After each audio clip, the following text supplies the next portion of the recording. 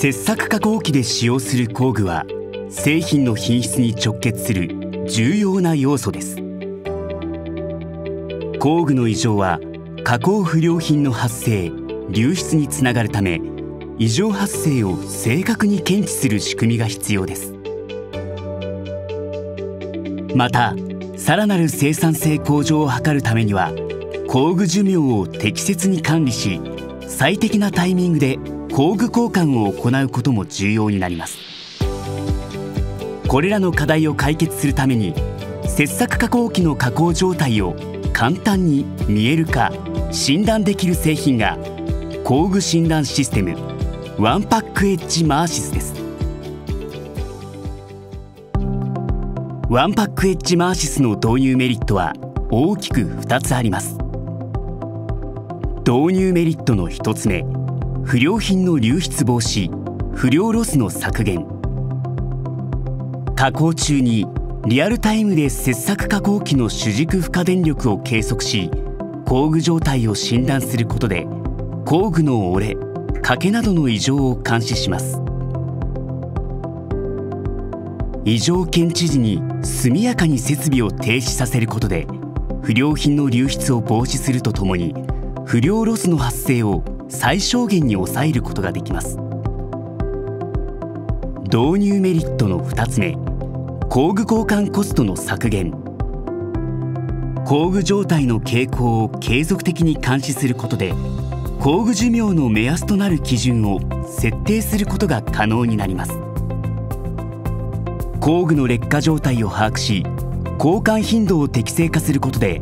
工具交換コストの削減につながります。ワンパックエッジマーシスのシステム構成をご説明します。工具診断システムワンパックエッジマーシスはデータ収集コントローラーデータ解析支援ソフトウェア電力センサーから構成されます。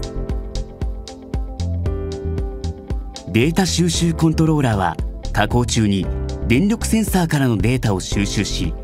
工具異常を検知した場合は即座に異常発生を通知します。敷地設定にはデータ解析支援ソフトウェアプロヘルスを用います。ツール番号ワーク番号ごとに蓄積された波形データの表示と浄化源地積算値による敷地設定を行うことが可能です。次に導入方法です。データ収集コントローラーは切削加工機の制御盤内の空きスペースもしくは別置きのボックス内に据え付けます。加工中の主軸モーターの負荷電力を制御盤内から測定するため電力センサーをインバーターの虹側に取り付けます。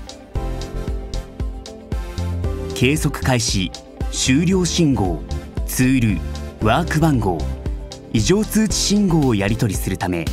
デジタル入出力の配線を行います。収集したデータはデータ解析支援ソフトウェアプロヘルスで確認します。ツール番号ワーク番号の組み合わせごとに波形データを確認しながら簡単な操作で敷地設定を行うことができます。設定した敷地情報をデータ収集コントローラーに登録したら工具診断の準備は完了です。加工中に敷地の超過を検出した場合切削加工機に異常が通知され速やかに加工を停止させることが可能です。ワンパックエッジマーシスで継続的な監視と改善を実施することで切削加工機の安定操業や工具交換コストの削減が実現できます。既存の設備に取り付けるだけで切削加工機の工具状態を簡単に見える化診断。ワンパックエッジマーシスは工具のいつもと違うを発見し加工ラインの生産性向上に貢献します。